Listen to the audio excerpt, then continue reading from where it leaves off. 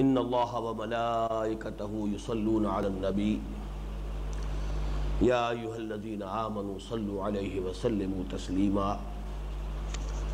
सदक़ल्लाहुल अज़ीम अल्लाहुम्म सल्लि अला मुहम्मदिन व अला आलि मुहम्मदिन कमा सल्लैत अला इब्राहीम व अला आलि इब्राहीम इन्नका हमीदुम मजीद अल्लाहुम्म बारिक अला मुहम्मदिन व अला आलि मुहम्मदिन कमा बारकत अला इब्राहीम व अला आलि इब्राहीम इन्नका हमीदुम मजीद वसल्ल वसल्लम व बारिक अला जमीइल अंबिया वल मुरसलीन व अला मलाइकतिकल मुकर्रबीन व अला इबादिकस सालिहीन व अलैना माअहुम या अरहमर राहिमीन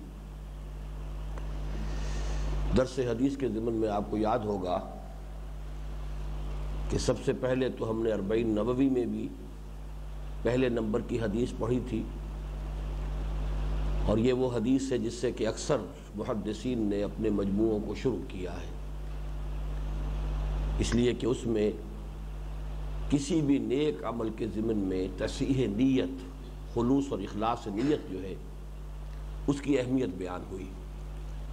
रावी हज़रत उमर बिन ख़त्ताब रज़ी अल्लाह तन रिवायत मुतफ़ अलैह, जिसका असल मतन है इन नमल अमाल बिन्नियात व इन नमाकुल्लिमा नवा।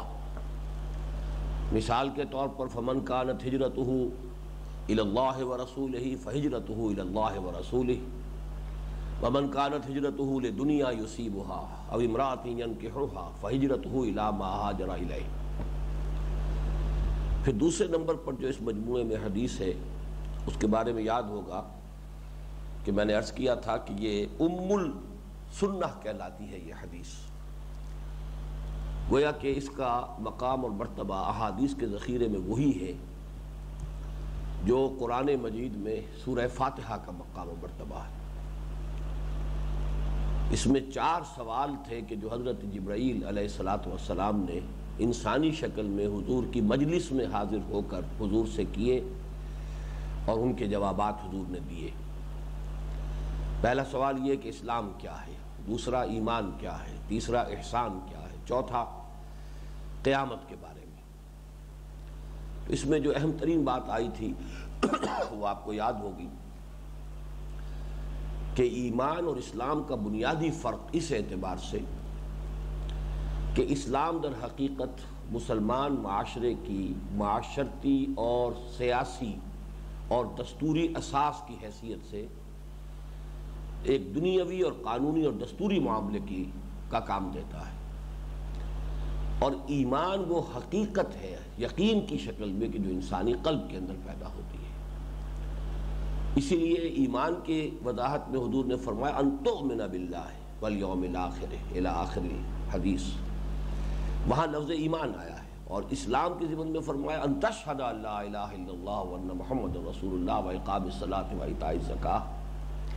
तो मालूम हुआ कि ज़बानी इकरार, इससे एक इंसान जो है वो मुसलमान हो जाता है। अगरचे उसके बाद जो हमने कुछ और हदीसें पढ़ी हैं, जिनसे मालूम होता है और आज भी वो हदीस हमें पढ़नी है, कि जिन कम से कम शराइत पर कताल ख़त्म हो सकता है, वो ये है कि शाह कलम शहादत और इकामत सलात और इताई ज़क़़त, दो चीज़ें और उसमें शामिल हैं। लेकिन इस फ़र्क को अच्छी तरह समझ लीजिए कि फ़र्ज़ कीजिए एक शख्स एन हालत जंग में, जबकि दो अफराद का मुकाबला हो रहा था, एक काफिर और एक मोमिन, अगर वो उस हालत में काफिर जो है वो कलम शहादत अदा कर देता है अशद अशद महमद रसूलुल्लाह इस हालत में महज ये कलमा उसके इस्लाम के लिए काफ़ी है। इसलिए हज़रत उसामा जैद, उसामा इबन जैद रज़ी अल्लाह तुमा से जो एक गलती हो गई थी कि एक शख्स से उनका मुकाबला था और जब वो बिल्कुल मगलूब हो गया, लाचार हो गया तो उसने कलमा पढ़ दिया। हज़रत उसामा ने अपनी तलवार नहीं रोकी, उसका सर कलम कर दिया। लेकिन दिल में एक खरीश सी रही तो जाकर फिर हजूर से पूछा कि ये मामला हुआ, आपने फरमाया कि गलत किया तुमने। हज़रत उसामा ने अर्ज़ किया कि ये तो उसने अपनी जान बचाने के लिए हीला किया था। आपने इसकी नफ़ी नहीं की। इसके बावजूद फरमाया उसामा, क़यामत के दिन क्या जवाब दोगे जब ये कलमा तुम्हारे खिलाफ इस्तेगासा लेकर आएगा? बल्कि ज़रा सख्त अल्फाज में, सरजनिश के अंदाज में आपने ये भी फरमाया, तुमने क्यों ना उसका दिल चीर के देख लिया? अब ज़ाहिर बात है, दिल चीर के भी देख लेते तो उसके अंदर कलमा तो नहीं निकल सकता था, या यकीन तो नहीं उससे बरामद हो सकता था, लेकिन ये दरक़ीक़त इजहार नाराज़गी जो है, उसका अंदाज है। यानी ये कि दिल का मामला जो है, वो अल्लाह के हवाले है। उस हालत में जिसने कलम शहादत अदा किया है, तुम्हें अपनी तलवार रोक लेनी चाहिए थी। अलबत् इज्तमाही सतह पर, जब सूरह तौबा में अहकाम आए हैं कि अब मुशरकिन के लिए आखिरी मोहलत है अशर हरम के ख़त्म होते ही उनका कत्ल आम शुरू कर दो। तो उस कत्ल आम को रोकने के लिए वहाँ तीन शर्तें बयान हुई। अगर वो कल में शहादत अदा करें, नमाज़ कायम करें और ज़क़़त अदा करें। ये कुरान मजीद की नस्बी हो गई। और जो हम आज अपने जबल रज़ी अल्लाह तुमा की हदीस पढ़ चुके हैं, उसके अंदर भी यही अल्फाज आ गए। और इसकी हमारे पास जो है वाक़ाती तौर पर भी सनद मौजूद है। कि हज़रत अबू बकर रज़ी अल्लाह तु के अहद में जब कुछ लोगों ने ज़क़़त से इनकार किया और उन्होंने उनके ख़िलाफ़ कताल का फ़ैसला किया और कुछ हजरात ने बशमूल हज़रत उमर रज़ी अल्लाह तन कुछ मसलहत का मशवरा दिया कि इस वक्त चूँकि दो महाज पहले खुले हुए हैं, जो झूठे नबी और उनके पैरोकार हैं, उनके ख़िलाफ़ तो जिहाद जारी है। फिर जैश उसामा इबन जैद जो है, जो रूमियों के ख़िलाफ़ भेजे जाने के लिए हजूर ने तैयार किया था, आप उसे भी रवाना कर रहे हैं। अब ये तीसरा महाज जो है इस वक्त न खोला जाए। तो हज़रत अबू बकर रज़ी अल्लाह तु ने इसी का हवाला दिया था कि मैं कैसे इस कताल को रोक सकता हूँ, जबकि हजूर सल्ला वसल्लम ने और कुरान ने कम से कम तीन शर्तों पर कताल के ख़त्म करने का और कताल बंद करने का मामला किया है, जिसमें कि ईताए ज़क़़त भी शामिल है। तो ये मामला जो है इस्लाम का इस एतबार से कि जब कहीं इज्तमाही मामला होगा जब कहीं तमदनी मामला होगा तो कम से कम इन तीन शराइ पर मुसलमान तस्लीम किया जाएगा उस माशरे को, उस ग्रोह को, उस कौम को, उस कबीले को। हदीस जब्राइल में जो और बात आई थी जो बड़ी अहम थी, वो जो ये कि दीन का जो सबसे ऊँचा रूहानी मकाम है, एहसान वो क्या है? वो दर हकीकत कोई और शय नहीं है। ईमान ही की ऐसी गहराई का की कैफियत है कि जिसमें गोया के ऐसी कैफियत हो जाए कि इंसान अपनी आँखों से देख रहा है। अंताबुदल्लाह का तरा हो लेकिन चूँकि मैंने आपको बताया था कि इबादत का हमारे जहनों में आम तौर पर मफहूम बहुत महदूद बैठ चुका है, वो नमाज़, रोज़ा, हज और ज़क़़त तक है। इसलिए इसी हदीस की जो दूसरी रिवायतें हैं, उनके हवाले से मैंने आपको और अल्फाज भी बताए कि अनतख्शल्लाह कान्ना का तरा हो फ़ैलम तकुन तरा हो फ़ैन यराक।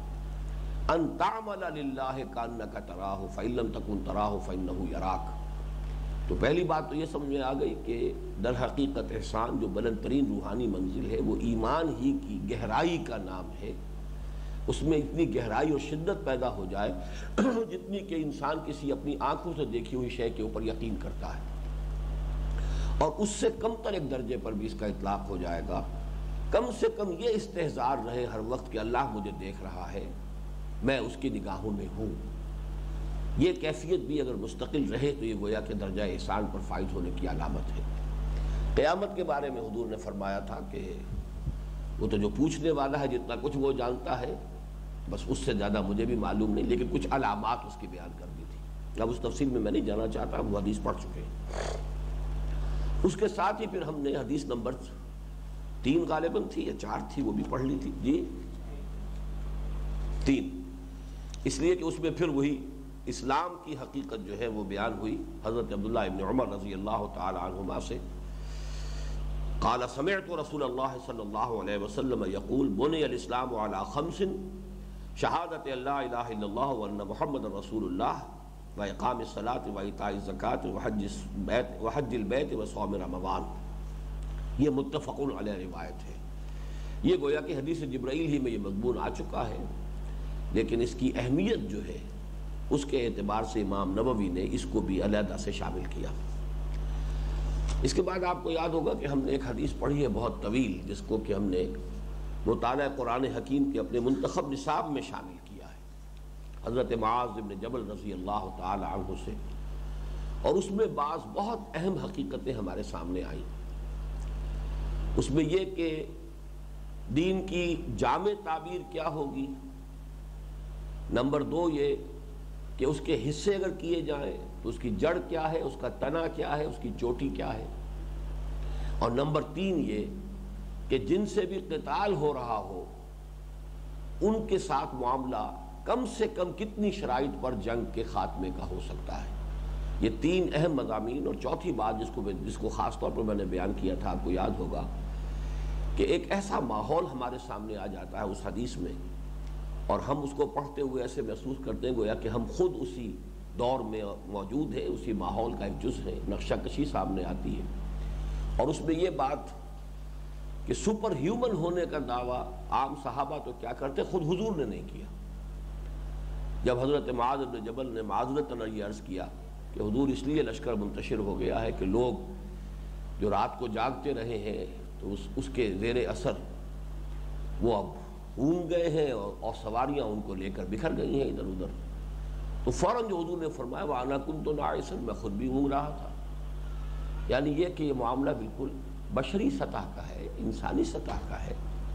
तो कभी भी हुजूर ने अपने आप को उस सतह से ऊपर होकर पेश नहीं किया। बारह जो बातें आपके खसाई से वो अपनी जगह है। सबसे बड़ी खसूसियत तो ये कि आप पर वही नादिल होती है कुलनमा आना बशर मिसलकुम यूहा इलैया इलाहुकुम इलाहु वाहिद। हद फासिल जो है असल वो तो यही है कि आप पर वही नादिल हुई। इसके अलावा भी कुछ खसाइस है। मतलब ये कि हुजूर ने फरमाया कि मैं पीछे की तरफ़ से भी देखता हूँ, तुम सिर्फ़ सामने से देखते हो।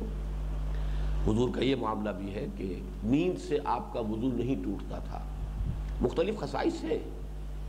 तो इस तरीके से आपको सौ में विसाल की इजाज़त थी, आप रखते थे, जबकि सहाबा को आप मना करते थे।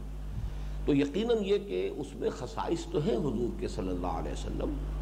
लेकिन ये कि आम हालात में जब तक कि कोई चीज़, कोई खसूसियत हुजूर की आपके किसी कौल से, किसी हदीस से सही से साबित न हो तो हम उसको नहीं मानेंगे, बल्कि हम आम हालात में यही कहेंगे कि हुजूर सल्लल्लाहु अलैहि वसल्लम भी आम बशरीत से मुतसिफ थे और आपके अंदर भी वो सारे तकाजे थे। ये दूसरी बात है कि अल्लाह ताला आपकी हिफाजत फरमाता था, मासूमियत इसी का नाम है तो कोई ख़ता नहीं होती थी, अगर होने लगती थी और वो भी कोई ख़ता खैर ही के अंदर, जानब खैर। नेकी का जज्बा ही कहीं अगर हद अतदाल से बढ़ जाए। जैसे रहम का जज्बा ही था कि जो गजब बदर के बाद, असीरान बदर के ज़िमन में इस शक्ल में ज़ाहिर हुआ कि इनको माफ़ कर दिया जाए, इनको कत्ल ना किया जाए, इनको फिदिया लेकर छोड़ दिया जाए, ये रहमत है। लेकिन ये कि चूँकि ये भी जो इस वक्त का तकाजा था, इकामत दीन की जद्दोजहद का उसके लिए मुनासिब न था, लिहाजा इस पर गिरफ्त आ गई। तो अगर कभी कोई ऐसी बात होती थी तो उस पर अल्लाह ताला की तरफ़ से गोया के फौरी तौर पर एक हिदायत आ जाती थी और उसकी तस्वीर हो जाती थी तो किसी गलती पर नबी अकरम सल्लल्लाहु अलैहि वसल्लम को कायम नहीं रहने दिया गया।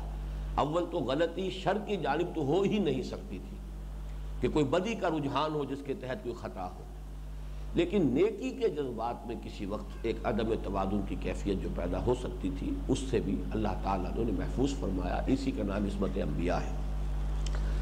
बहरहाल, अब ये जो दूसरी हदीस हमने पढ़ी थी, जो इस मजमू में नहीं है बई नबी में, बल्कि वो हमने अपने मंतखब निसाब में शामिल की है मुताल कुरान हकीम के। अब उसी के दो अज्जा हैं कि जो दो और हदीसों में हैं कि जो इस मजमू में शामिल हैं। अब पहले अब हम उनको पढ़ रहे हैं। हदीस नंबर आठ निकाल लीजिए। अन इबन उमर रज़ी अल्लाह ये अजीब इतफाक़ की बात है कि जैसे हदीस जब्राइल के एक हिस्से की मजीद वजाहत पर जो हदीस आई थी, वो भी मुतफ़ थी। और वो भी अब्दुल्ला इबन उमर रज़ी अल्लाह तुमा ही से थी। बोने इस्लाम वाला खमसिन, शहादत महमद रसूल वक़ाम सलात वादाई ज़क़़त रमज़ान। बिल्कुल उसी तरीके से उस तवील हदीस के भी एक हिस्से की, और उसका वो आखिरी हिस्सा था।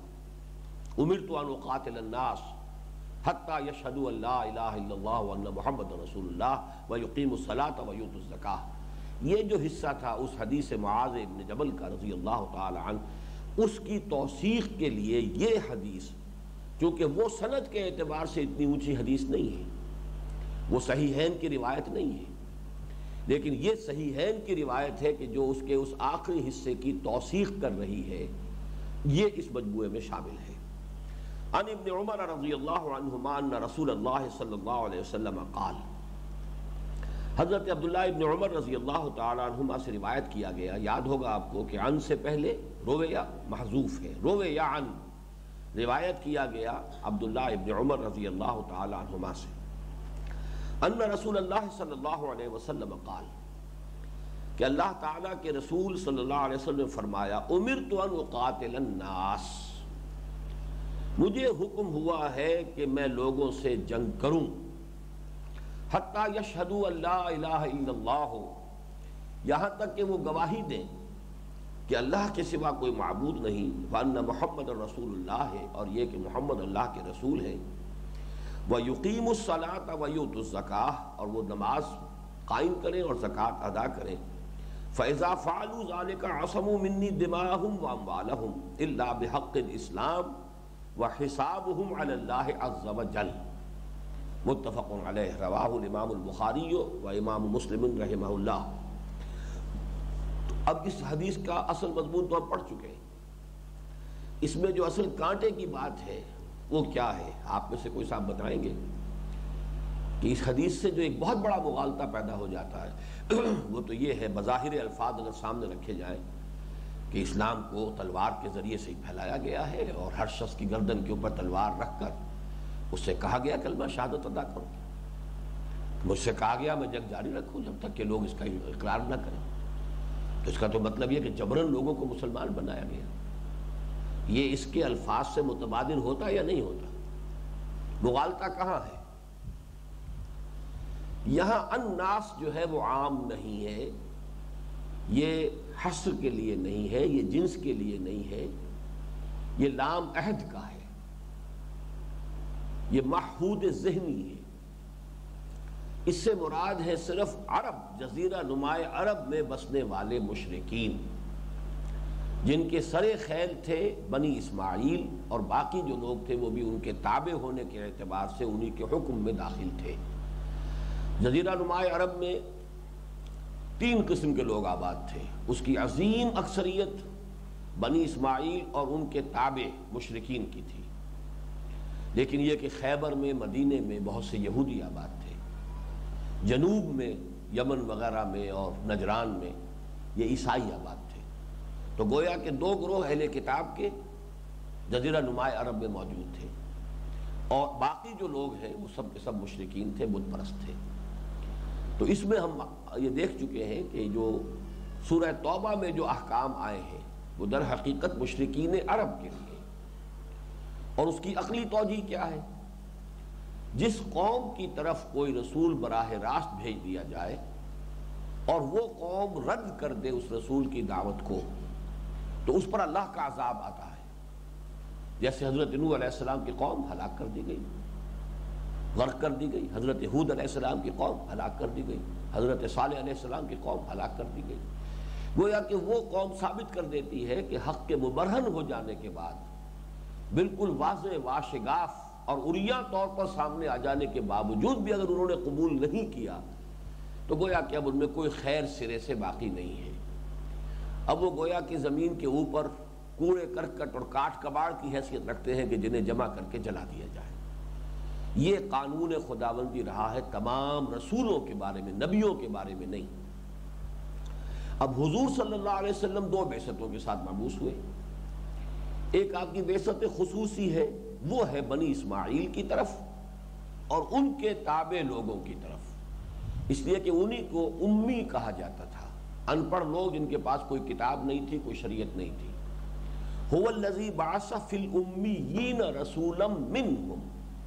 वही है अल्लाह जिसने के उठाया उम्मीन में एक रसूल उन्हीं में से।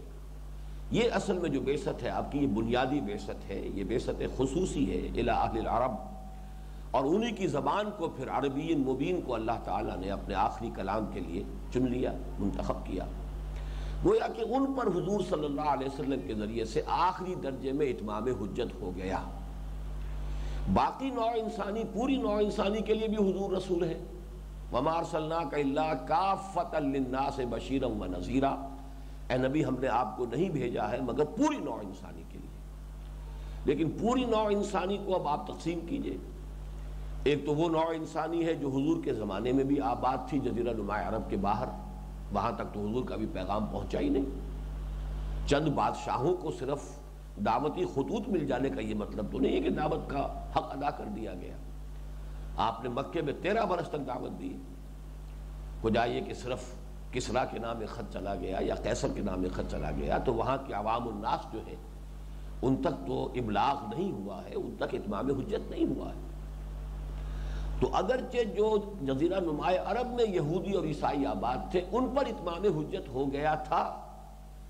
लेकिन हम ये देखते हैं कि इस मामले में कुरान मजीद ने जो फैसला किया वो ये था कि चूँकि हुजूर उनमें से नहीं थे, एक कौमी मुगारत का पर्दा ज़रूर हाइल था। कि एक नस्ली मुगायरत है, वो बनी इसमाइल में से है, ये बनी इसराइल में से है। लिहाजा इसका भी अलाउंस दिया गया है और उनको उन्हीं लोगों में शामिल कर दिया गया है जिन पर गोया के इतमाम हजत नहीं हुआ। तो हुजूर के ज़माने के यहूदी और ईसाई भी के जो जजीरा नुमाए अरब में आबाद थे या बाहर आबाद थे, वो उसी कैटेगरी में शामिल कर दिए गए जिसमें बाकी पूरी नौ इंसानी। और वो कैटेगरी ये है, अब इन दो कैटेगरीज का फ़र्क ये होगा कि जो पहली कैटेगरी थी, यानी कुरैश और उनके ताबे लोग, बनी इस्माइल और उनके ताबे मुशरकिन, उनके लिए कोई रियायत नहीं थी। वो तो या ईमान लाए और या कत्ल कर दिए जाएँगे। इसका ही अल्टीमेटम है कि जो सूरह तौबा की इब्तदाई छः आयात के अंदर दे दिया गया। फैज़न सलकल अशरुलहरम फ़ख्तुलमशरकिन है सो वजतुम जब ये मोहतरम महीने ख़त्म हो जाए तो मुसलमान और मुशरकिन को कत्ल करो, जहाँ भी पाओ। अलबत् बाकियों के लिए कह दिया गया कि इनसे जंग जारी रखो। हत्ता योतुल सागिरून। छोटे बनकर रहे, जिजिया देने को कबूल कर ले। यानी इस्लाम की बालादस्ती को कबूल कर ले। लॉ ऑफ़ द लैंड की हैसियत से, पब्लिक लॉ की हैसियत से इस्लामी शरीयत को तस्लीम करें। खुद यहूदी रहे, ईसाई रहे, मजूसी रहे, हिंदू रहे, पारसी रहे, कुछ भी रहे। लेकिन उन्हें जजिया देना होगा और उन्हें इस्लाम की बाला दस्ती को तस्लीम करना होगा। इस्लामी रियासत की इतात कबूल करनी होगी। मज़हब तब्दील करना ज़रूरी नहीं है। उनको मुसलमान होना जो है, उनके लिए लाजिम नहीं था। ये वो लोग हैं कि जिनका तस्करा यहाँ हो रहा है। अगर ये बात वाज न रहे, उमिर तो अनकातनास मुझे हुक्म हुआ है कि ऐसे लोगों के साथ मैं जंग जारी रखूँ। हत्ता यशहदु अल्लाह ये दूसरे लोग नहीं, पहली कैटेगरी के लोगों के लिए ये हदीस है। कि कुरैश, बनी इस्माइल और उनके ताबे लोगों के बारे में हजूर को हुक्म था। जैसे कि मैं आयत सुना चुका हूँ आपको। फैजल फैजन सलकल अशरुलहरम फ़ख्तुलमुशरकिन है सुबैत तुम ये गोया कि उसके ताबे हो जाएगा कि उमिर तो अनुकातनास मुझे इसका हुक्म हुआ है कि मैं लोगों से जंग जारी रखूँ। यशहदु अल्लाह मोहम्मद रसूलुल्लाह व यकीम सलात व ज़क़़त। यहाँ तक कि वो गवाही दें कि अल्लाह के सिवा कोई मबूद नहीं। और ये कि मोहम्मद अलैहि वसल्लम अल्लाह के रसूल हैं, नमाज़ कायम करें, ज़क़़त अदा करें। फ़ैज़ा फ़ालू ज़ालिक, जब ये लोग ये तीन तकाजे पूरे कर दें, असबू मिन्नी दिमाग व तो उन्होंने बचा लिया मुझसे अपनी जानों को भी, अपने खूनों को भी और अपने अम्वाल को। यानी वो लीगली मुसलमान तस्लीम कर लिए जाएँगे। अब उनका कत्ल भी जायज़ नहीं है, उनका माल जो है वो भी माल गनीमत के तौर पर जो है उसको कब्जे में नहीं लिया जा सकता। इसलिए कि अब वो लीगल मुस्लिम हो गए। यहाँ हमने देखा कि वो जो पाँच शराइत है, इस्लाम किसे कहते हैं? उसमें तो कलम शहादत के साथ चार चीज़ें और शामिल हैं, नमाज़, रोजा, हज, जक़ात। लेकिन ये जो कम से कम है कि जिससे किसी कौम के खिलाफ अगर कोई जंगी कार्रवाई उसके खिलाफ हो सकती थी, वो बंद हो जाएगी। वो ये है कि कम से कम तीन शर्तें पूरी हो जाए। अब इसमें गोया कि एक बात हमारे सामने वाजे हो गई कि तीन दर्जे हमारे सामने आए हैं इस्लाम के। पहला दर्जा तो यह है कि अगर किसी ऐसी सिचुएशन में जबकि दो मुसल, एक मुसलमान और एक काफिर, दो अशखास का बाहम मुकाबला हो रहा है, उस वक्त तो अगर वो सिर्फ़ कल में शहादत अदा कर देगा तो मुसलमान मान। अब नमाज़ का भी वक्त नहीं है, अब जक़ात की अदायगी का मरहला भी नहीं है। वो तो उस वक्त इंस्टेंटेनियस फैसला करना होगा कि आया इसको मुसलमान माना जाए या ना माना जाए। इससे हम ये भी डिराइव करेंगे कि जिस शख्स के बारे में हमें कुछ और मालूम नहीं है, वो अगर सिर्फ़ कलम शहादत अदा करता है तो वो मुसलमान माना जाएगा। ये जो कलम शहादत है, गोया के ढाल के मानंद है कि अब उसके खिलाफ हर इकदाम को वो रोक देगी। अगर कुछ और मालूम और वो कलम शहादत अदा कर रहा है तो गोया कि उसे मुसलमान माना जाएगा, ला मुहाला। हालत जंग में अगर कोई शख्स मगलूब हो गया है, उस वक्त वो कलमा शहादत पढ़ देता है तो उसको मुसलमान माना जाएगा, ला मुहाला। अलबत् अगर कोई इज्तमाही मामला हो रहा है, किसी कबीले के खिलाफ जो है वो इकदाम है, वो उस कबीले का जो है मामला जब तक कि वो कम से कम तीन बातों की का अहद ना करे कलमा शहादत भी अदा करे और नमाज़ कायम करने का और जक़ात अदा देने का अहद ना करें।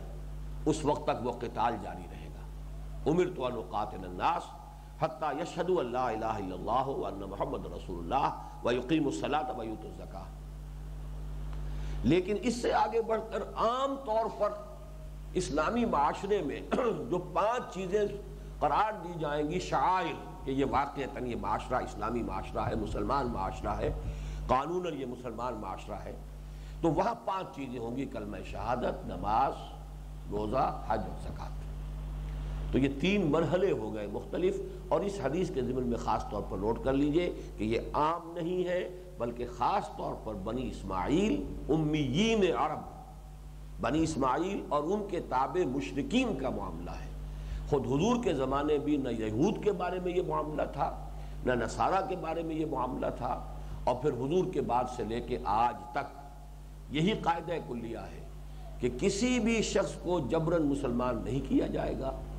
किसी भी शख्स के सामने ये अल्टीमेटम नहीं आएगा कि या तो ईमान लाओ या तुम्हारी गर्दन उड़ाई जाती है, बल्कि उसके सामने दो ऑप्शंस होंगे। यही तमाम अफवाद जो है, खिलाफत राशदा में जब बाहर निकली है साहबा कराम की तो हर बस्ती और हर शहर और हर मुल्क के लोगों के सामने ये तीन ऑप्शन पेश किए जाते थे। सबसे पहले तो यह है कि ईमान ले आओ, तुम हमारे साथी हो जाओगे, हमारे बराबर के हो जाओगे। तुम्हारे तमाम जान, माल, इज़्ज़त, आबरू हर शय महफूज रहेगी। हम ये भी नहीं कहेंगे कि हम कदीमी मुसलमान हैं, तुम नए मुसलमान हो, नौ मुस्लिम हो तो तुम्हारा रुतबा कम है। नहीं, आज ही इस्लाम ले आओ। And you are just equal to us ये अगर तुम्हें गवारा नहीं है तो फिर यह है कि ताबे हो जाओ, इस्लामी रियासत की बालादस्ती को तस्लीम करो। अलबत् तुम यहूदी, ईसाई, मजूसी, हिंदू, सिख, पारसी, जो चाहो रहो। तुम्हें ज़ाती तौर पर, इनफरादी तौर पर मज़हब तब्दील करने के पर मजबूर नहीं किया जाएगा। लेकिन ज़िम्मी की हैसियत से इस्लामी रियासत में रहोगे, जिजिया दोगे, टैक्स दोगे, और जिजिया भी कोई गाली नहीं है, टैक्स है। मुसलमान जक़ात देता है। तो ज़ाहिर बात है कि जो भी शहरी है किसी मुल्क के अंदर, उसे जो भी हकूक दिए जा रहे हैं कि उसकी जान और माल, इज़्ज़त, आबरू की प्रोटेक्शन जो दी जा रही है तो उसका कुछ ना कुछ बदल तो होगा। उसका कुछ ना कुछ उसे एक्सचेंज में देना चाहिए। तो ये बदल जजा से ही जिजिया बना है। ये गोया कि उनकी हिफाजत का बदल है। उनकी जो ज़िम्मेदारी लेती है इस्लामी रियासत, उसका मुबादला इस शक्ल में है कि उनसे टैक्स लिया जाए। वो टैक्स दे और इस्लाम की बालादस्ती कबूल करे तो ये कि उनको हिंदू, सिख, पारसी, ईसाई, जो वो रहना चाहे, रहने की इजाज़त है। चुनाचे अब यहाँ ये बात भी नोट कर लीजिए कि वो हदीस जो हमने इस ज़माने में अल्हम्दुलिल्लाह बहुत आम की है हज़रत मकदाद अब्दुल असवद रज़ी अल्लाह तु से। और ये मुस्द अहमद इबन हम्बल की रिवायत है। तो वो फरमाते हैं कि हुजूर ने इशाद फरमाया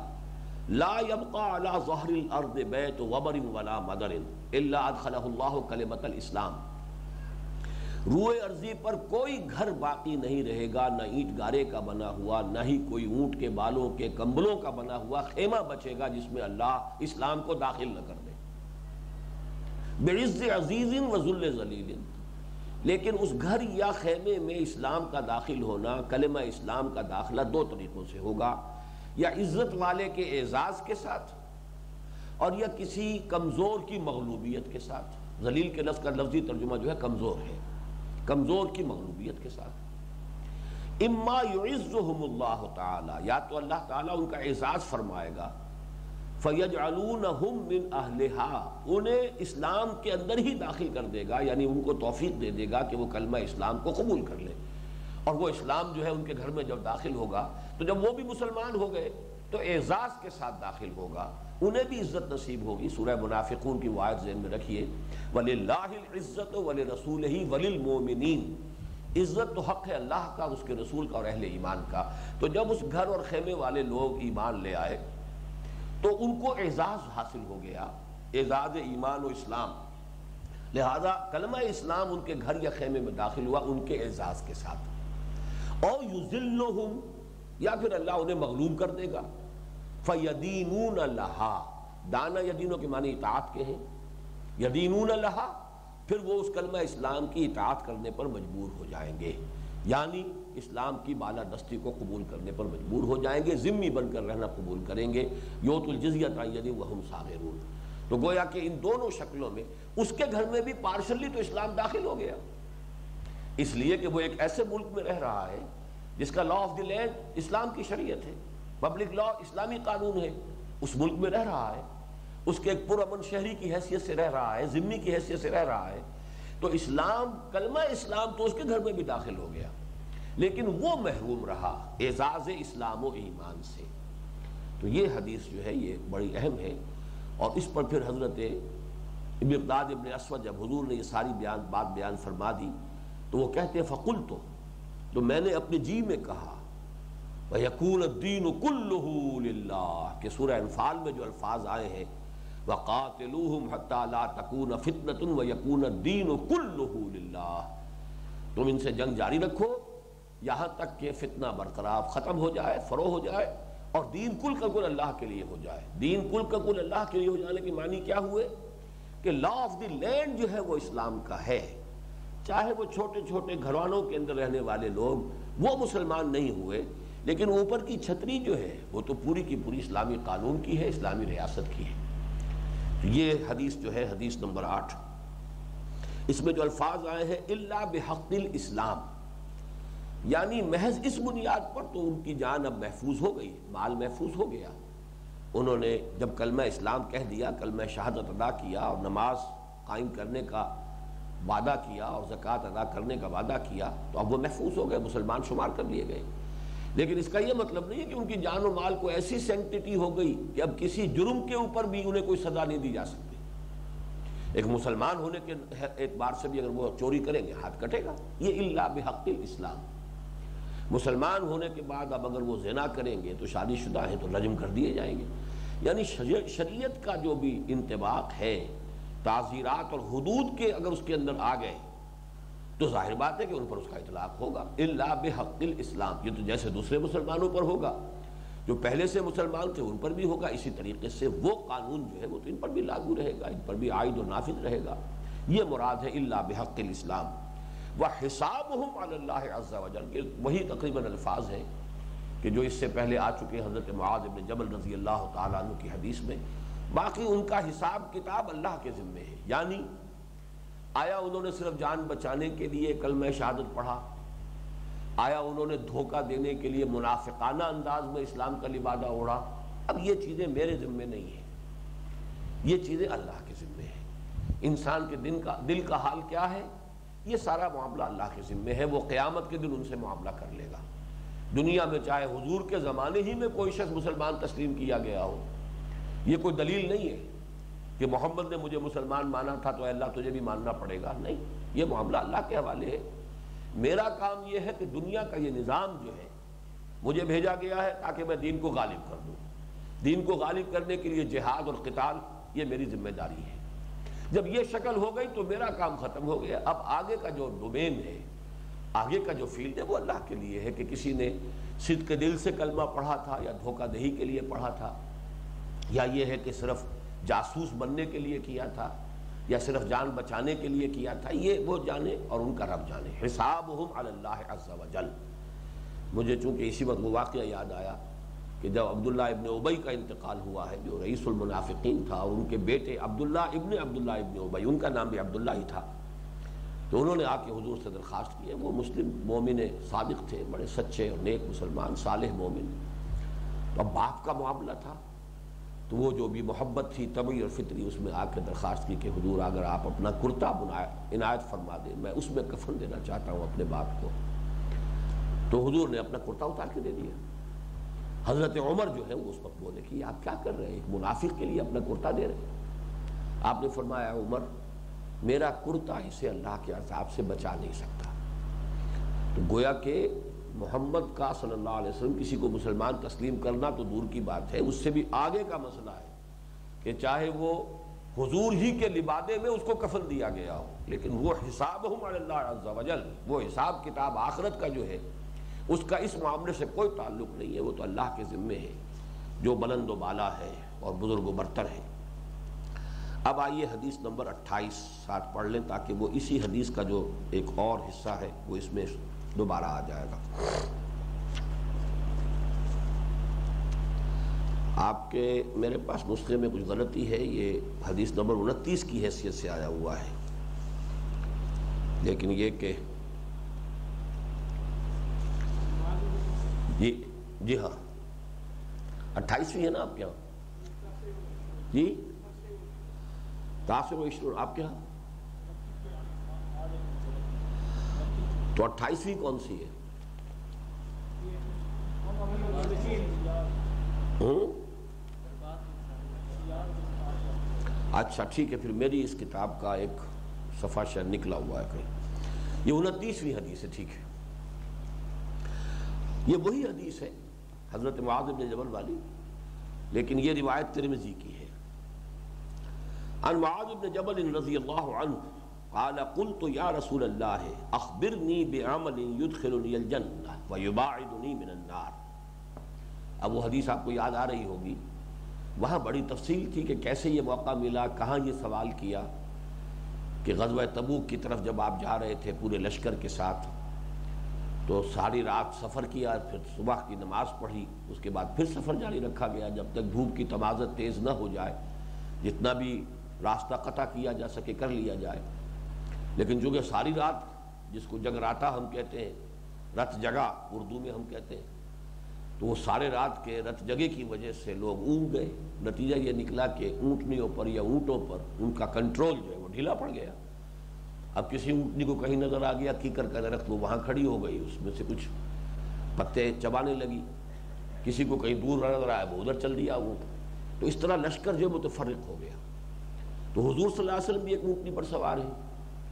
हज़रत माज को तखलिए की ज़रूरत थी, कि मुझे कोई मौका ऐसा मिल जाए, कि बिल्कुल खलवत हो, मुझे ख़ास सवाल करना है।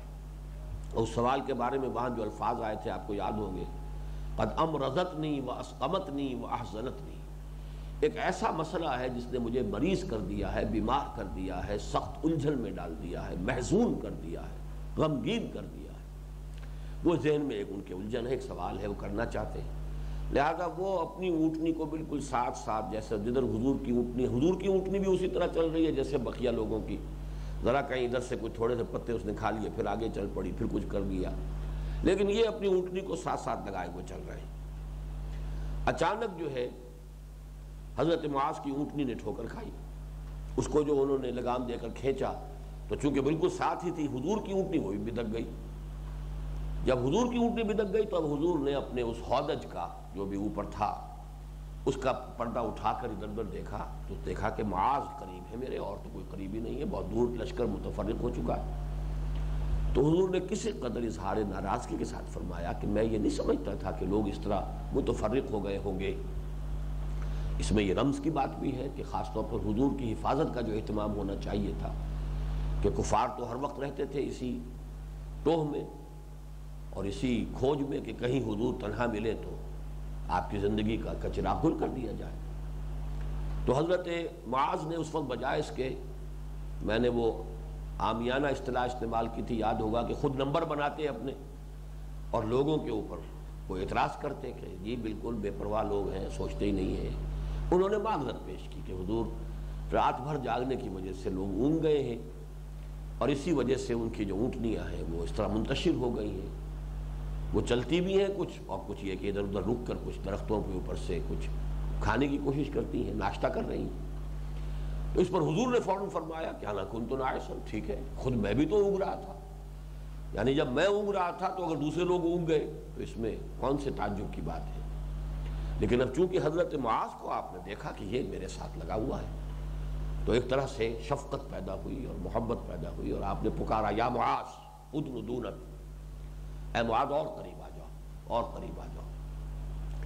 उसके बाद अब वो मौका मिल गया जो उनकी ख्वाहिश थी। उन्होंने वो सवाल किया कि, हजूर, मुझे इजाज़त दीजिए। एजल्ली मुझे इजाज़त दीजिए। अन असल का कि मैं आपसे एक ऐसी बात पूछूँ। कद अमरजत नहीं व असकमत नहीं व हसनत नहीं जिसने मुझे बहुत दिलगीर कर दिया है, गमगीन कर दिया है, बीमार बना दिया है। तो हजू ने फरमाया सलमा शेता जो चाहो पूछो। इस वक्त चूँकि हजूर वसल्लम की बशाशत थी ख़ास और शफकत खसूसी इस वक्त हज़रत मास को हासिल हो गई थी। सलमा शेता जो चाहो पूछो। फिर उन्होंने पूछा, वो सवाल वहाँ ज़रा मुख्तलिफ़ अल्फाज में था, वो सवाल ये है। काला कुल तो या रसूल अल्लाह अकबरनी बेअमल अल्लाह के रसूल, मुझे बाखबर कीजिए, मुझे मुतला फरमाइए उस अमल से। यूथ खिलुनियल जन्नता व युबादनी मिनन्नार। जो मुझे जन्नत में दाखिल कर दे और आग से दूर कर दे जहन्नम से दूर कर दे उस हदीस में मजीद अल्फाज है लाशाइन गह रहा मुझे आपसे इसके सिवा और कुछ नहीं पूछना। ये हमारे लिए लम्हा फिक्रिया है कि असल शय जो दामनगीर हो जानी चाहिए एक बंद मोमिन को, वो क़यामत का मुहासबा और जन्नत की तलब और दोजख से अपने आप को बचाने की फ़िक्र है। ये दामनगीर होनी चाहिए। अगर ये नहीं है तो इसका मतलब ईमान नहीं है। फिर वो चाहे एक इनकलाबी ही नज़रिया है और इनकलाबी अमल है, उसमें लगे हुए हैं, जैसे कम्युनिस्ट भी लगे होते थे। ना उन्हें आखरत से कोई सरोकार, ना कोई जन्नत की तलब, न दोजख का कोई खौफ, ना अल्लाह पर ईमान। लेकिन ये कि एक इनकलाब के लिए, एक जद्दोजहद के लिए, एक हकूक़ इंसानी के लिए, एक अदल और इंसाफ पर मबनी माशरा कायम करने के लोगों ने जाने भी दे दी। तो ईमान का जो असल लुब लुबाब है वो ये है कि आखरत पर यकीन हो और इंसान का जो असल के अमल है वो ये बन गया कि मुझे आग से छुटकारा पाना है कू अनफुसकुम वाहली कुम नारा। बचाओ अपने आप को और अपने अहल को आग से। और ये कि इसी का मुस्बत पहलू ये है कि जन्नत का दाखिला, उसकी तलब हो उसकी ख्वाहिश हो। दूसरा पॉइंट इसमें नोट करने का ये है कि हम जो सिर्फ़ मौरूसी मुसलमान है या मौरूसी अहले ईमान है, हमें ईमान विरासतन से मिल गया है। हम कितने मुतमिन है कि जन्नत गोया कि हमारा पैदाइशी हक है, बर्थ राइट हमारा है कि हम जन्नत में दाखिल हो। लेकिन ये सहाबी हैं और बाद जबल उन सहाबा में से हैं, यानी यूँ समझिए गिनती के चंद सहाबा, जिनके ख़ास तोसीफ में हुजूर ने सल्लल्लाहु अलैहि वसल्लम तफजील का सीधा इस्तेमाल किया है। ये सुपरलेटिव डिग्री जो है अरहम उम्मती बे उम्मती अबू बकर। मेरी उम्मत में उम्मत पर सबसे ज़्यादा शफीक और रहीम अबू बकर उमर। अल्लाह के मामले में, शरीयत में, दीन के मामले में सख्त तरीन ये उमर है। इसी तरीके से अक्सर हया उस्मान। हया में सबसे बढ़कर, सबसे ज़्यादा सबसे ज़्यादा शर्मीले बाहया वो उस्मान है। वो अकवाहम अली। और सबसे ज़्यादा जिसको कहा जाए कि मामले को सही समझना और उसका सही फैसला करना। कज़ा जो है, फैसला करना। काजी फैसला करने वाला। यानी मामलात या मुकदमात या खसूमात में सही तरीन फैसले की सलाहियत रखने वाला मेरा साथी जो है, वो अली है। वो अकरा हूँ मुबैबन काब। और कुरान का सबसे बड़ा कारी मेरे साहब में उबैबन काब है रज़ी अल्लाह व आलम बिल हलाल वल हराम माजुबन जबल। ये है वो साहबी। हलाल और हराम के सबसे ज़्यादा जानने वाले। यानी आज की इतलाह में हम कहेंगे, मुफ्ती आज़म। मुफ्ती का काम यही होता है कि वो बता दे कि ये चीज़ जायज़ है कि नाजायज़ है। हलाल और हराम के दरमियान हद फासिल उसे सही सही मालूम हो। ऐसा ना हो कि कहीं नेकी के जज्बे से मगलूब होकर हलाल को भी हराम करार दे दे। बहुत ज़्यादा मोहतात है, जहद है, और उसकी वजह से किसी हलाल के भी हराम होने का फतवा दे दिया। या इतनी बेहतियाती है कि हराम को हलाल करार दे रहा है। तो ज़ाहिर बात है कि बहुत गहरा फहम जिसका होगा, कानून इस्लामी के बारे में, शरीयत के बारे में, जिसका फहम और जिसका इल्म जो है, दोनों, इल्म बहुत वसी भी हो और फहम बहुत गहरा हो अमीक हो, वही शख्स है जो फैसला कर सकता है कि ये हलाल है या हराम। ये हद फासिल जो है, ये बहुत मुश्किल है इसकी पहचान। इसलिए कि एक और हदीस हम पढ़ेंगे, इसी मजमू में आएगी। कि हलाल बैन वल हराम बैन व बैन मुश्तबहात कुछ हलाल बिल्कुल ऐसे जो वाजे हैं कि ये हलाल है। कुछ हराम ऐसे हैं जो बिल्कुल वाजे है कि हराम है, लेकिन इनके बीच में मुश्तबहात हैं, जिनके बारे में इश्तबा हो सकता है कि यह हलाल है, या हराम है। तो वो शख्स के जो इन चीज़ों से भी बारीकियों से वाकिफ हो, वो है गोया के फ़कीह, वो मुफ्ती कहलाने का मुस्तक है। तो ये लफ्ज़ आज मैं पहली मरतबा इस्तेमाल कर रहा हूँ कि गोया के हजूर के इन अल्फाज से मुराद क्या हुई?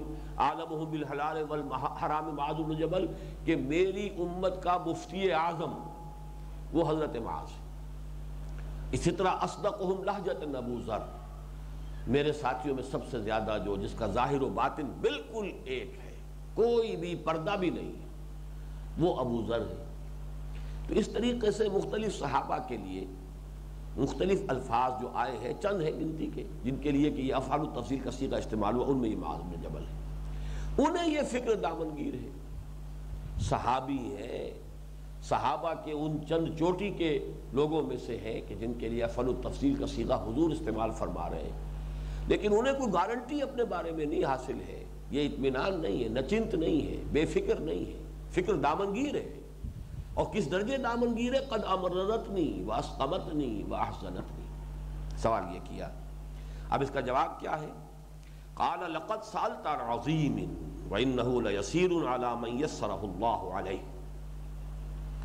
हजूर ने फरमाया, बल्कि वहाँ अल्फाज आपको याद होंगे, क्या थे? बखिन बखिन। लक़त साल तब अज़ीमिन लक़त साल तब अज़ीमिन लक़त साल तब अज़ीमिन, सलासन। बखिन बखिन, ये अरब कहता है जब किसी चीज़ की तहसीन करनी हो। और मैं उसको समझाने के लिए कहा करता हूँ, बहुत खूब बहुत खूब में से बहुत का बे ले लीजिए, खूब का खे ले लीजिए तो वो बख बन गया। तो बखिन बखिन, बहुत खूब बहुत खूब। तुमने बड़ी बात पूछी है, तुमने यकीनन बड़ी बात पूछी है, तुमने हकीकतन वो बात पूछी है जो पूछने की है।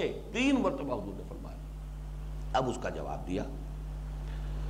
ताबुदुल्लाह तुशरिक बिही शैन अल्लाह की बंदगी करो और उसके साथ किसी शय को शरीक ना करो। अब यह लफ्ज इबादत अपने पूरे हमागीर तस्वुर के साथ आपके सामने आना चाहिए। हम तन बंदगी अल्लाह की, हम वक्त बंदगी अल्लाह की। तवक्ल हो तो सिर्फ़ अल्लाह पर। तवक्ल अगर आपको मादी वसाइल ज़राए पर है तो यही शिरक है। मादा परस्ती इस दौर का सबसे बड़ा शिरक है। असबियत जाहली कोई भी अल्लाह की मोहब्बत और रसूल की तालीमत से ऊपर हो गई तो ये शिरक है। औलाद की, माल की मोहब्बत अल्लाह और उसके रसूल की मोहब्बत से ऊपर चली गई, शिरक है। इतात जो है, किसी हुक्म की कर ली गई, अल्लाह के हुक्म के सिवाय, और उसके खिलाफ वो शिरक है। इल्ला यह कि एक आदमी मजबूर है, जान बचाने के लिए कोई बात कर रहा है तो बात दूसरी है। लेकिन यह कि अपनी जी की आज़ादी से, अपनी मर्ज़ी से अगर ऐसा कर रहा है तो मुशरक है। तो वो शिरक जो है, हकीकत शिरक के मौजू पर जो मुफसल तकारीर और मेरा बयान आप सुन चुके उस सबको देर में रखिए इबादत कहते किसे? इबादत में दो चीज़ें शामिल है। उसका बहुत बड़ा जिसम जो है, जिसम के मानंद जो है, वो तो है इतात लातात मखलूक फ़ी मासीत खालिक। मोहब्बत मोहब्बत अल्लाह उसके रसूल की सबसे बाला हो जाए, ये नहीं है कि आप बीवी से मोहब्बत न करें, या बीवी शोहर से मोहब्बत न करें, या वालदेन औलाद से मोहब्बत न करें, या औलाद वालदेन से सबसे मोहब्बत करो, वतन से भी मोहब्बत करो, अपने घर से भी मोहब्बत करो, कोई परवाह नहीं है।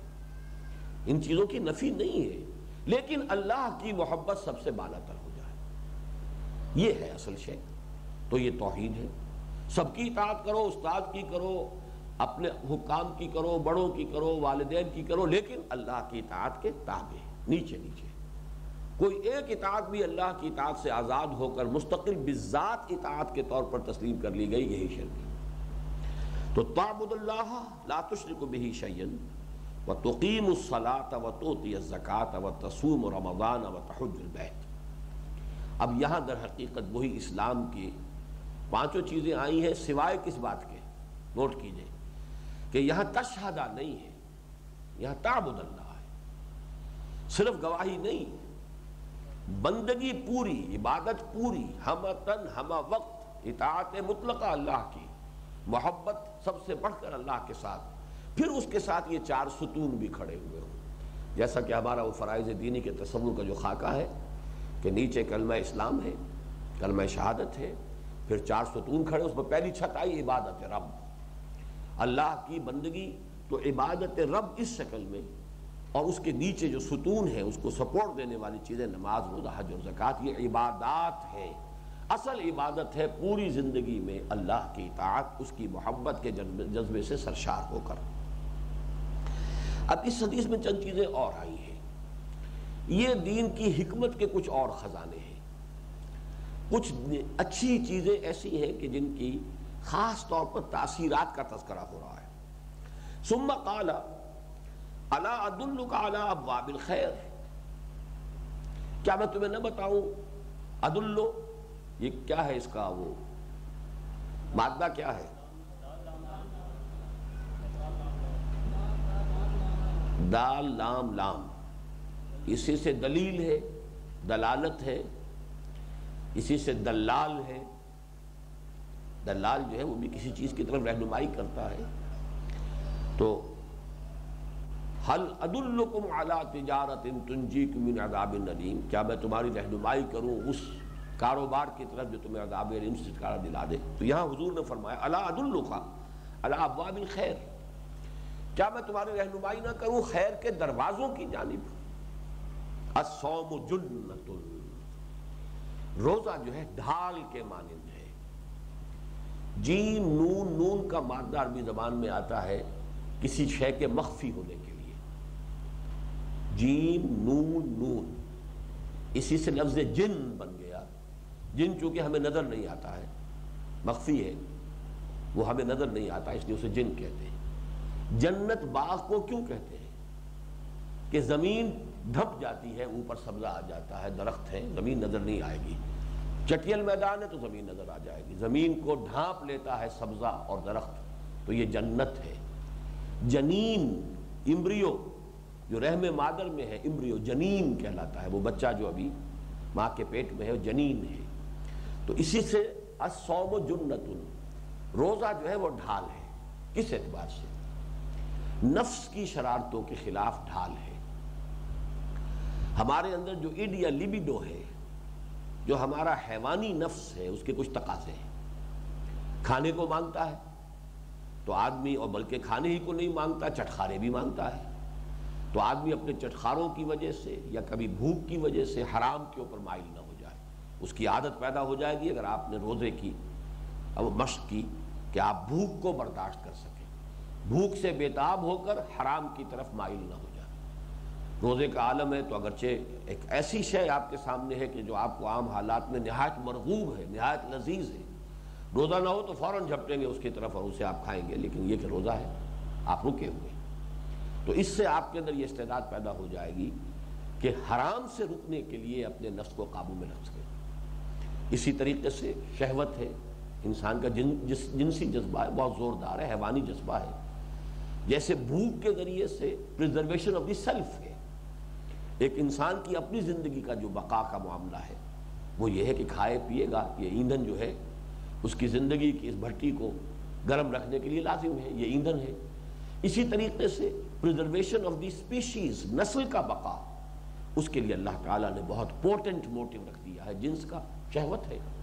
अब इसको भी जब रोज़े की हालत में इंसान कंट्रोल करता है तो उससे उसके अंदर एक सलाहियत पैदा होती है कि किसी भी गुनाह के मौके पर जब के अंदर से दाइया उभरे किसी गुनाह का फ़ौर इंसान जो अपने आप को थाम सके, रोक सके। उसने अपने अंदर जब्त नफ्स की ये सलाहियत रोज़े की इबादत के ज़रिए से हासिल कर ली।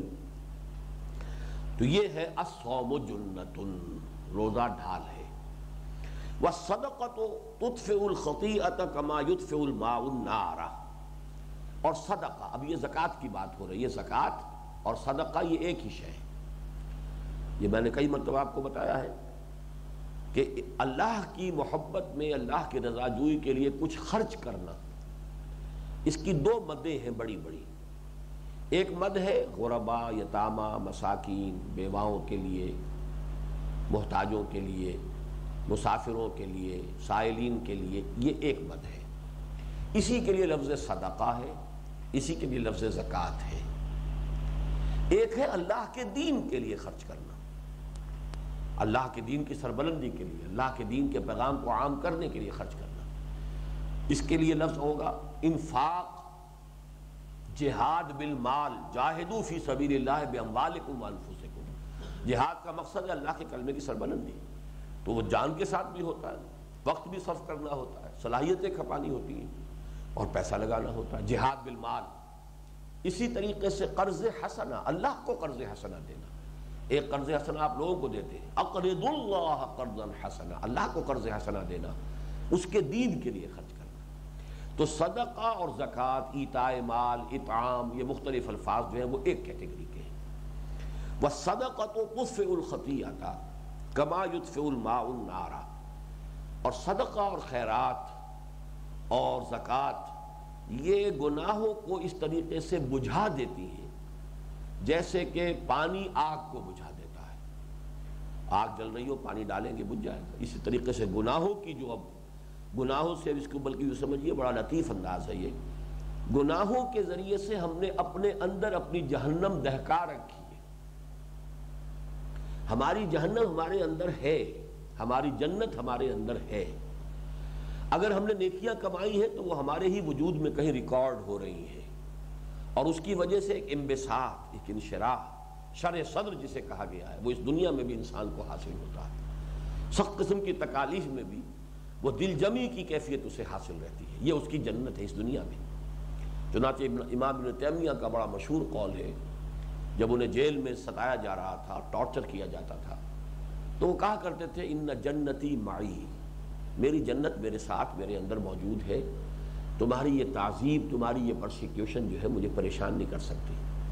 यानी मेरा दिल अपनी जगह पर मजबूती के साथ कायम है मुतमिन है। तुम मेरे जिसम को तकलीफ़ दे सकते हो, मेरी रूह को और मेरे दिल को अजियत नहीं दे सकते, वो तो बिल्कुल इतमान के साथ है। तो ये गोया कि अगर किसी ने गुनाह किए हैं तो हम ये कह सकते हैं, उसने अपने अंदर अपनी दोजख दहका रखी है, अपनी जहन्नम भड़काई हुई है। अब ये अपने अंदर की जहन्नम की उस आग को ठंडा करने के लिए सदका जो है, वही काम करेगा, जैसे खारिज की आग को बुझाने के लिए पानी काम करता है। वह सलातुल फ़ी खौफिल फ़ी जौफिल और फिर आपने तीसरी चीज़ फरमाई, और नमाज़ पढ़ना किसी शख्स का दिन रात के पेट में, जौफिल ये असल में तहजद के लिए सही तरीन लफ्ज है जो इस हदीस में आया है। जौफ पेट को कहते हैं, दरमियानी हिस्से को कहते हैं। यानी आमतौर पर हमारे यहाँ कुछ लोग जो अपने ऊपर होते नहीं है उस मकाम और मरतबे के, लेकिन यह कि कुछ लाजिम कर बैठते हैं अपने ऊपर तहजद एक नेकी है, ठीक है, इसको भी why not to bag it अब वो उसको सिर्फ़ फजर का जमीमा बना लेते हैं। फजर की अजान होनी है साढ़े चार बजे, चलो चार बजे हो जाओ। चार बजे उठ के भाग दौड़ करके दो चार नफलें पढ़ ली ताजुद हो गई। ये ताजुद नहीं है। ये तो आपने फजर का जमीमा है। नवाफिर इसको कह लीजिए, लेकिन वो तहजद जिसका के मकाम है, वह मिनल फतहजद भी नाफिल उसकी असल ताबीर क्या है? ये है, फ़ी आदमी नींद तोड़कर उठे, फिर सोए, फिर उठकर फजर पढ़े। ये उसके तकाजों में से है। उस नमाज़ का मुकाम जो है वो ये है। जिसका तस्कर आगे ये सूरह सजदा की आयत हजूर ने कोट की है कि उसका दर हकीकत सूरह सजदा में जिस आयत का ज़िक्र है, जिस नमाज़ का सजदा की आयत में, वो ये नमाज़ है बस सलातुरजलफ़ी जौफ़िल सुम तला। फिर आपने तिलायत फरमाई ये आयत तजाफ़ा जुनूब यदरून रब खौफ़ व तमाम व मम्मा रज़क़नाफ़िकून फ़ला तलमनफ़सुमा मिन क़ुर्रत आयुन जज़ाम बिमा कानू यामलून। सूरह सजदा की ये आयात सोलह व सत्रह है। यहाँ सिर्फ़ इसका पहला हिस्सा दिया गया है। तजाफा जुनूब अनिल मजाज यदरून रब खौफ व तमा उनके पहलू जुदा रहते हैं अपने बिस्तरों से। यानी रात के वक्त वो उठते हैं, अपने बिस्तरों को छोड़ते हैं और खड़े हो जाते हैं, अपने रब को पुकारते हैं। खौफ के साथ भी, तमा के साथ भी। उसके अजाब का खौफ भी उनके दिल पर होता है, मुहासबे का खौफ भी होता है। और ये कि उसकी मफफरत की उम्मीद भी होती है, तबाह भी होती है। तो दोनों के दरमियान ये इंसान का जो मकाम होना चाहिए बैन खौफ व रजा। तो खौफ व तमान इलाकों में ही यामलून तक के आयत पूरी हुजूर ने पढ़ी, वो मैंने आपको सुना दी है। ततजाफ़ा जुनूब अनिल मवाज यदून रब खौफ व तमाम व मम्मा रज़क़नाफ़िकून फ़ला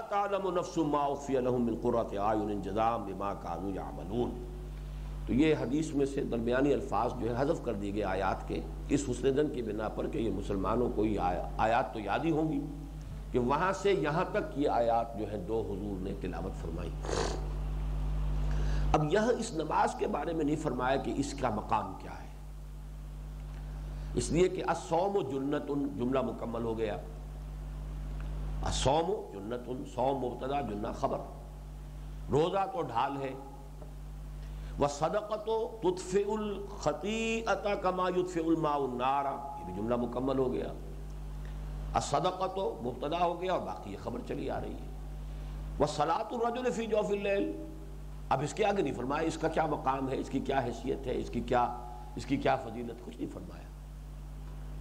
हजूर भूल गए या क्या हुआ? तो इसको नोट कर लीजिए, अरबी जबान में हजफ का एक उसूल है और हजफ में बड़ी अजमत होती है। यानी ये तो ऐसी शय है कि जिसका मकाम बयान ही में नहीं आ सकता। ये तो इतना ऊँचा दर्जा है कि जिसकी फजीलत जो है, अल्फाज उसके हामिल और मोहतमिल नहीं हो सकते। तो हजफ कर देना किसी शय की ताज़ीम के लिए। तो ये चीज़ जो है, ये असालीब कुरान के हवाले से मौलाना हमीदुद्दीन फ़राही रहमत ने जो चंद बातें बहुत वाजे की हैं, बहुत खूबसूरती के साथ, कि हजफ जो है वो कभी कहीं ज़्यादा फसी हो जाता है, ज़्यादा बलागत हो जाती है उसमें। उस बात को ज़ाहिर करने में शायद कुछ कमी हो जाए, अगर उसको ज़ाहिर न किया जाए तो उसकी अजमत जो है वो ज़्यादा दोबाला हो जाती है, उसका नक्श जो है ज़्यादा गहरा कायम होता है। वह सलात रजलफ़ी जोफ़िल सुम्मा तला, ये आयत जो है, हम ये कह सकते हैं, नंबर दो कि इस आयत को हुजूर सल्लल्लाहु अलैहि वसल्लम ने इसकी खबर करार दिया। हो फला तलमनफ़िन आयुन ये गोया कि उसकी खबर हो। वल्लम सुम्मा काला, अब ये जो, ये दरमियानी जो हिस्सा था इस हदीस का, ये वो जो हम पढ़ चुके हैं तवील हदीस, जो मंतखब निसाब में है हमारे मुताल कुरान हकीम के मंतखब निसाब में, उसमें ये टुकड़ा नहीं था। मैंने बहुत शुरू में आपको हदीस जब्राइल के हवाले से भी बताया था कि हदीस के बारे में ये बात अच्छी तरह समझ लीजिए कि इसके रिपोर्टिंग में कुछ न कुछ कमी बेशी, कुछ आगे पीछे हो जाना बिल्कुल फितरी है। ये लफ्जन उस तरह महफूज नहीं है जैसे कुरान महफूज है। मानन महफूज है, लेकिन लफ्जन महफूज नहीं है। मानन भी तमाम हदीसें नहीं। मतलब जो हदीस मुतफ़ है, जो हदीस सही है मुहदसिन के मैार, जिन्हों तादील को ऊपर पूरी उतर आई है वो मानन तो महफूज है, लेकिन लफ्जन हम उसको भी नहीं कह सकते। जिसकी सबसे बड़ी दलील ये है, इसके बारे में तो हम कह सकते हैं, इम्कान है कि ये जो बात हज़रत माद जबल फरमा रहे हैं, हजूर ने किसी और मौके पर भी ये बात कही हो। रावी एक ही है, लेकिन वो जो मौका था सफ़र तबूक के दौरान, जबकि ख़ास तखलिया हासिल हो गया था गुफ्तु वो हुई हो, जो उस हदीस में आई है, किसी और मौके पर भी ये मुकालमा हो सकता है जिसमें ये बात आई हो। लेकिन हदीस जबरील के हवाले से मैंने ख़ास तौर पर इसीलिए आपको बताया था कि वो वाक़ तो एक ही मरतबा हुआ। उसमें कोई इम्कान ही नहीं है कि दो बार वो वाक़ हुआ हो। और सहाबा की मजलिस में हुआ, आज भी मैंने जब तस्करा किया था तो मजलिस में हाजिर होकर के अल्फाज इस्तेमाल किए थे मैंने। अब उसी मजलिस में उमर भी है अब्दुल्ला इबन उमर भी है, अब अब्दुल्ला इबन अब्बास भी हैं, अबू हुरैरा भी हैं, सबके सब उसी मजलिस में मौजूद हैं। लेकिन जैसे ये कि मैं जो कुछ कह रहा हूँ, चार आदमियों से एक घंटे के बाद आप पूछेंगे तो उनके अल्फाज अलहदा हो जाएँगे। चाहे मफहूम एक हो, कुछ ना कुछ तो फ़र्क हो जाएगा। इसी तरीके से हम देखते हैं, उस हदीस के अल्फाज में भी फ़र्क है। अनताबुल्लाह का अन्ना का तरा हो अनतख्शल्लाह का अन्ना का तरा हो अनताबल का अन्ना का तरा हो इसी तरीके से हदीस का जो आखिरी हिस्सा फिर आता है, उसमें तो बहुत ही इख्तलाफात हैं। बाज़ जगह मालूम होता है कि हजूर अलैहि वसल्लम ने फरमाया कि वापस लाओ उस शख्स को। और जब वो देखा गया, तलाश किया गया कि तो कहीं नहीं मिल रहा था आपने कहा ओ हो ये जब्राइल थे जो तुम्हें तुम्हारा दीन सिखाने आए थे। और ये पहली मरतबा हुआ है कि मैं भी उनको पहचान नहीं सका। अब ये बड़ा अहम हिस्सा है। लेकिन ये हज़रत अब्दुल्ला, हज़रत उमर रज़ी अल्लाह ताला वाली रिवायत में ये नहीं है। कि मालूम होता है कि हज़रत उमर उसके फ़ौरन बाद चले गए। और तीन दिन तक जो है, चूँकि बाद सलासिन के अल्फाज आते हैं तीन दिन तक वो खुद तो इसी उधेड़ बुन में कि क्या माजरा था, ये कौन शख्स था, ये कौन था जिसने इस तरह सवाल किए। फिर जब मुलाकात हुई हजूर से तो हजूर ने पूछा, शायद आपको अंदाज़ा हो गया होगा कि उमर के चेहरे पे कोई उलझन के आसार हैं, शायद उसी वाक़े के बारे में वो उलझन है। क्या उमर तदरी मनी साहिल तुम्हें पता भी चला कि नहीं कि वो साहिल कौन था?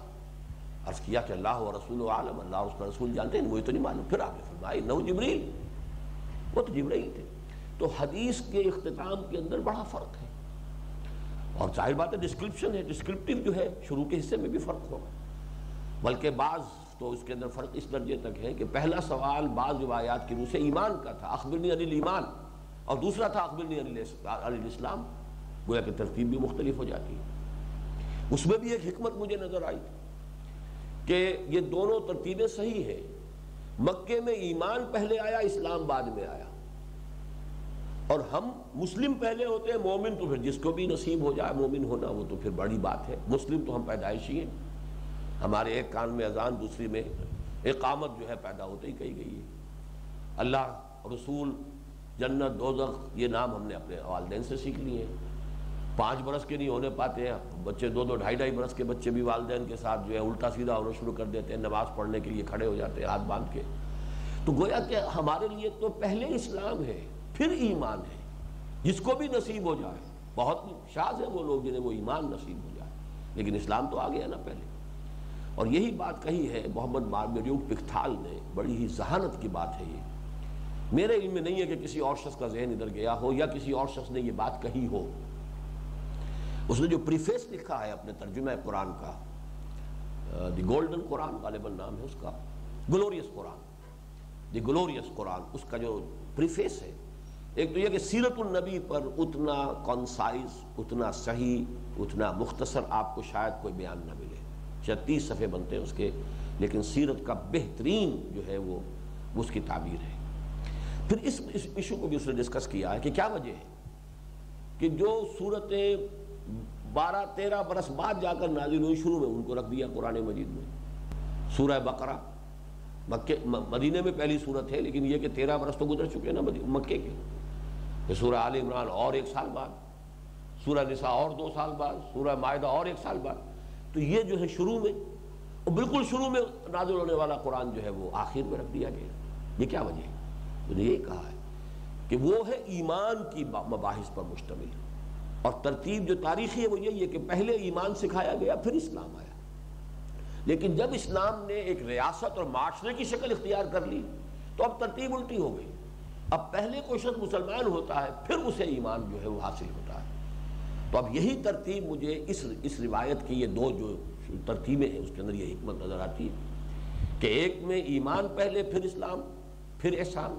दूसरी में जो हमने पढ़ी है, हज़रत उमर रज़ी अल्लाह से रिवायत है, पहला सवाल है अखबरी इस्लाम, दूसरा अनिल ईमान, तीसरा अनिल इस्लाम तो इसी तरीके से मैंने ये बयान कर रहा था कि ये फ़र्क जो है, ये एक और गवाही है कि अब ये हो सकता है कि ये वही वाक़ हो, लेकिन उस वक्त उसके बयान करने में यह हिस्सा रह गया, जो हजूर वसल्लम ने मजीद बताया।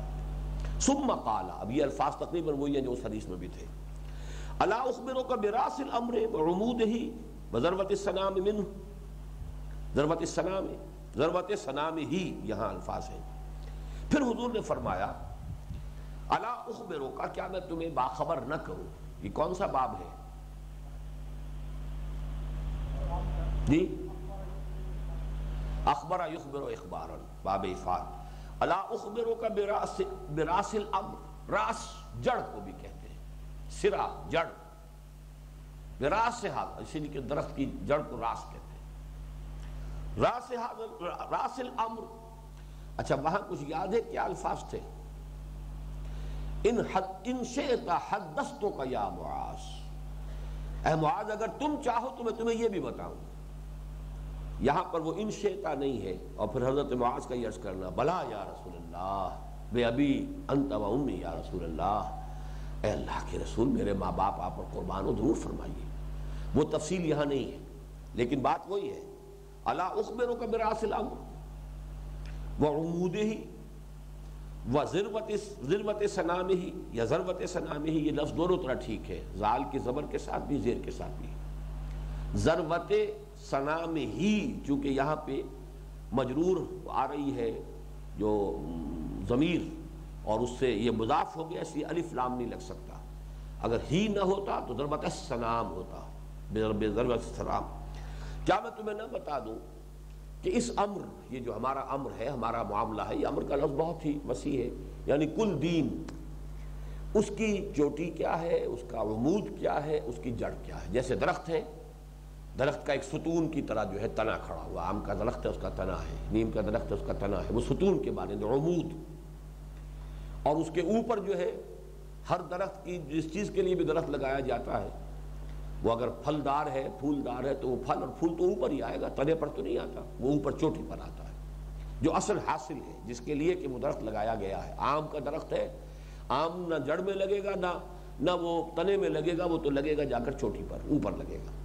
लेकिन ये कि नीचे एक जड़ भी होती है, अगर उससे पानी ना आ रहा हो, उससे गजा ना आ रही हो तो कुछ भी नहीं होगा। तो ये एक ऑर्गेनिक होल है, एक हयातियाती इकाई है लेकिन समझाने के लिए हम उसको तीन हिस्सों में तकसीम कर रहे हैं। हुजूर ने दीन की कुल वहदत को ऑर्गेनिक होल को तीन अज्जा में तकसीम करके समझाया। आपको याद होगा कि यही मैंने हमारे यहाँ जो है अंजुमन खुदामुल कुरान, वो रास व हाजल अम्र है। ये जो काम भी मैंने शुरू किया और जिससे ये तहरीक जो है आगे बढ़ी, फैली, उसकी जड़ क्या है? दावत रजुल कुरान और तंजीमी हैसियत उसकी, अंजुमन खुदामुल कुरान। तना उसका जो बहुत कॉम्पैक्ट होता है, जिसको हम बनाने की कोशिश कर रहे हैं, मज़बूत तंजीम, उसका फैलाव ज़्यादा नहीं होता। लेकिन यह है कि वो सपोर्ट देने वाली शय जो है तो वही है, वो तंजीम इस्लामी है।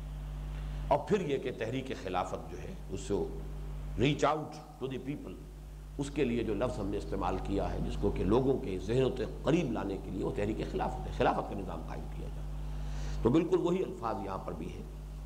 अलाउबरों का बिरासिल अम्र व अमूद ही वज़रबत सनाम ही। कुल तो बला या रसूल अल्लाह मैंने अर्ज़ किया, बला या रसूल क्यों नहीं? ज़रूर फरमाइए अल्लाह के रसूल। काल रासुल अम्र इस्लाम। यहाँ इस्लाम के मानी होंगे सिर्फ़ कलम शहादत। इसलिए वह अमूद असलाह नमाज़ को सुतून की शक्ल दी है। असलात इमादुद्दीन।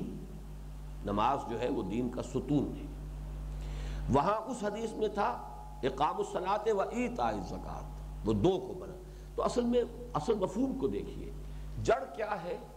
वो कलम इस्लाम है। जैसा कि वो हज़रत मकदाद वाली रिवायत में आया अदखला कल मतल इस्लाम। कोई घर नहीं बचेगा, ना ईट गारे का बना हुआ, ना ही कोई खेमा रहेगा जिसमें अल्लाह ताला कलम इस्लाम को दाखिल न कर दे। तो यहाँ पर भी इस्लाम से मुराद, वो कलम इस्लाम है। अशद अशद मोहम्मद रसूल इसीलिए मैंने आज शुरू में वजाहत की थी कि एक ताबीर इस्लाम की सिर्फ़ कलम शहादत है। एक ताबीर उससे आगे आई है तो तीन चीज़ें शामिल हो जाएगी, कलम शहादत, नमाज़ और ज़क़़त। लेकिन उसकी अमूमी ताबीर जो है, माशरे के अंदर उसके जिनको हम कहेंगे कि ये इस्लाम के शायर हैं, वो फिर कलम शहादत, नमाज़, रोज़ा, हज और ज़क़़त। तो ये तीन मराहल इसलिए मैंने आज पूरी तरीके से पहले बयान कर दिए थे। काला रासलाम व अमूदसलाह और उसका तना, ये नमाज़ है। वजरबत सना वजरबत सना में ही अलजहाद. और उसकी चोटी जो है, वो जिहाद है। ये तफसील से आ चुका है उस हदीस के अंदर हम इस पर गुफ्तु कर चुके हैं। कला उखबिरों का बेमिला के ज़ाल का कुल्ले ही बेमला के ज़ाल का कुल्ले ही या मिला का ज़ाल का कुल्ले ही मिला के ज़ाल का कुल्ले ही तो क्या मैं तुम्हें इसकी भी ना खबर दे दूँ? इन तमाम चीज़ों का सरदार, इन तमाम चीज़ों को जमा करने वाली, जोड़ने वाली, इन सबको अपने अहाते में ले लेने वाली शय क्या है? ये एक और अहम हकीकत है जो शरीफ में सामने आ रही है। इजाफी। कुल तो बला या रसूल मैंने अर्ज़ किया, ज़रूर अल्लाह के रसूल ज़रूर ज़रूर फरमाइए। इन तमाम चीज़ों को जोड़ने वाली शय कौन सी है? फ़ाखर बिलसान ही वकाल का बेहाजा कुफ़ का हाजा हजूर ने अपनी ज़बान मुबारक पकड़ी खुद यूँ और फरमाया इसको रोक कर रखो थाम कर रखो कुफ़ का हाजा यानी ये कि ज़बान को काबू में रखो इससे कोई लायानी लफ्ज़ न निकलने पाए कोई बेमानी कोई तोहमत कोई इल्ज़ाम तराशी कोई कीबत बेकार की बात। वो जो हमने पढ़ा है इससे पहले कि लघ से भी एराज करते हैं। वल्लजीन लघ मोड़ वो मासीत नहीं है, बेकार से बेकार बातों में जबान दराजी हो रही है, चल रही है जबान। किस्सा गोई हो रही है। खाम खा की स्वीट डिश के तौर पर जो है गीबतें की जा रही हैं। किसी भी खाने के बाद। कुफ वाले कहा था, इसको रोक कर रखो। कुल तो या नबी अल्लाह है वह इन्ना लमुआखजून बिमान तकल्लम भी कुल तो कुल तो या नबी अल्लाह हज़रत मुआज फरमाते कि फिर मैंने अर्ज़ किया है अल्लाह के नबी व इन्ना लमुआखजून यहाँ मुराद है आ इन्ना लमुआखजून क्या हमारा मुआवजा होगा उस पर भी जो हम कहते रहते हैं बेमान तकल्लम भी जो हम गुफ्तु करते रहते हैं ऐसे ही खुशगपियाँ करते रहते हैं ज़बान से जो भी कुछ कहते रहते हैं इस पर भी मुआवजा होगा अब यहाँ देखिए, ये बहुत ही अरब का, बहुत मोहब्बत आमेज अंदाज होता है। बहुत बेतकल्लुफ़ी का, बहुत शफकत आमेज सकलत का उम्म का, या मुआज। है मुआज, तुम्हें तुम्हारी माँ रोए, या तुम्हें तुम्हारी माँ खोए। मतलब ये कि ये, अगरचे वैसे तो बड़ी सख्त बददुआया एक बात है, लेकिन ये कि ये आम गुफ्तु का एक अंदाज अरबों का है, जो बहुत ही एक दूसरे के साथ प्यार और शफकत के अंदाज में किसी को मलामत करने के लिए। क्या क्या बात की तुमने? तो तुम्हें तुम्हें तुम्हारी मार हो तुमने ये क्या कहा? सकलत का गया मुआस वह हल युकबुन युकिबुन नासा फिन नार अला वजूहिम औ काल अला बनाखिरहिम, इल्ला हसाइद अलसिनतहिम। क्या लोगों को आग में ओधे मुँह डालेगी, या उनके नाकों के बल डालेगी, कोई और शय, सिवाय उनकी जबानों की खेतियों? हसाइद कहते हैं, जन्नत के मुकाबले में लफ्ज आता है हसीद, हब्बल हसीद। यानी ज़मीन से जो नबातात पैदा होती है, उनकी दो किस्में हैं। एक वो है कि पौधा लगा रहे, सिर्फ़ आपने फल उतार लिए। हर मौसम में फल आ गया, आम आ गया, आम आपने उतार लिया, आम का दरख्त जो तू खड़ा अगले साल, फिर उसके अंदर भी दरख्त लग जाएगा, उसमें आम लगेंगे। एक है गंदुम की फ़सल है, वो पूरी काट ली जाती है। वो जो फ़सल कट जाती है, वो हसीद कहलाती है। वो फ़सल के जो पूरी की पूरी काट ली जाती है। तो हसाइद अलसनत अलसना जमा है लिसान की। लोगों की जबानों की खेतियाँ। इसका क्या मतलब है?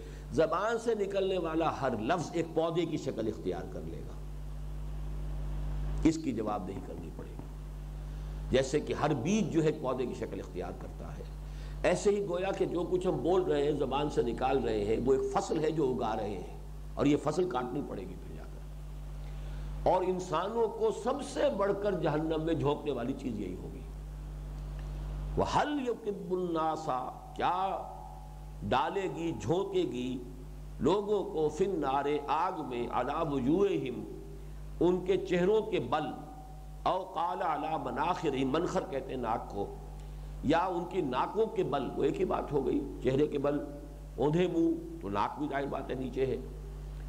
इल्ला हसादो अलसनत हिम सिवाय उनकी जबानों के, की खेतियों के। यानी ये चीज़ें जो है बहुत ही अहम है। एक और हदीस जो मैं आमतौर पर खुतब निकाह में बयान किया करता हूँ, आपको भी शायद याद हो। हजूर ने फरमाया कि मेरे, मुझे दो चीज़ों की ज़मानत दे दो, इंसानी वजूद में। दो उज़्र जो हैं, बड़े छोटे छोटे उज़्र हैं। लंबी चौड़ी टांगे हैं, बाजू हैं, ये है, वो है। लेकिन दो उज़्र हैं छोटे। मुझे दो की ज़मानत दे दो कि उसका गलत इस्तेमाल नहीं होगा तो जन्नत की ज़मानत मैं देता हूँ। एक वो जो तुम्हारी दोनों गालों के दरमियान है, यानी जबान, इसकी जमानत दे दो कि इसका गलत इस्तेमाल नहीं होगा। इसको हिलाने में कुछ वक्त नहीं लगता कोई देर नहीं लगती। जो चाह मुँह में आया बक दिया लेकिन ये पता नहीं कि इसका अब जवाबदेही हो गई, लिख लिया गया है। मा यलफिन कौल लदह रकीब अतीद जो बात भी निकलती है, उसको एक चौकस चौकन्ना जो है, चौकीदार मौजूद है जो लिख रहा है। दूसरे आपने फरमाया, जो तुम्हारी दोनों रानों के दरमियान है, शर्मगाह है। इसलिए कि शहवत का जज्बा भी इंसान के अंदर जो है, बहुत कवी है।